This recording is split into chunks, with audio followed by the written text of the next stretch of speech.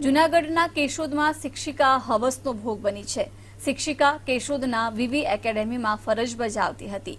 શાળાના સંચાલકના પુત્રએ પોતાની હવસનો શિકાર બનાવી છે.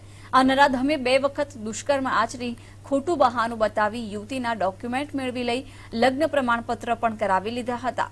શિક્ષિકાએ દુષ્કર્મની ફરિયાદ નોંધાવતા કેશોદ પોલીસે આ અંગે ઝીણવટભરી તપાસ હાથ ધરી છે.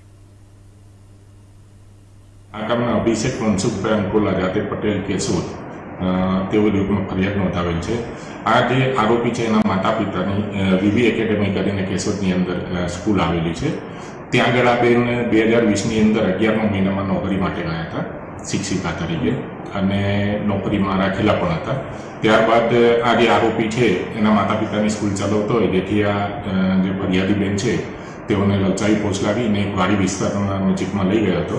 અને તેની ઉપર બળાત્કાર ગુજારેલ અને એના ચાર પાંચ દિવસ પછી પણ કેશોદમાં હું રહું છું. મારા મમ્મી પપ્પા મજૂરી કરે છે અને મારા પપ્પા ઘરનો પાંચ વ્યક્તિ છે. એટલા માટે અમે ઘર ન પોસાય, એટલા માટે હું સ્કૂલમાં જોબ કરતી હતી અને ત્યાં બે હજાર રૂપિયાથી હું નોકરી કરતી હતી અને ત્યાં એના મમ્મી પ્રિન્સિપાલ છે અને સ્કૂલનું નામ વિવી એકેડેમી છે.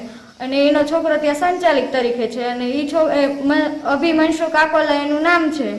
અને એ છોકરાએ મારી જોડે દુષ્કર્મ કરેલા છે અને એ બધી વાતની એને જાણ હતી. તો એ છતાં મારી જોડે મેરેજ કરી અને ખોટા કાગળિયાઓ કરી અને કહે છે કે તારી જોડે મારા મેરેજ થઈ ગયા છે.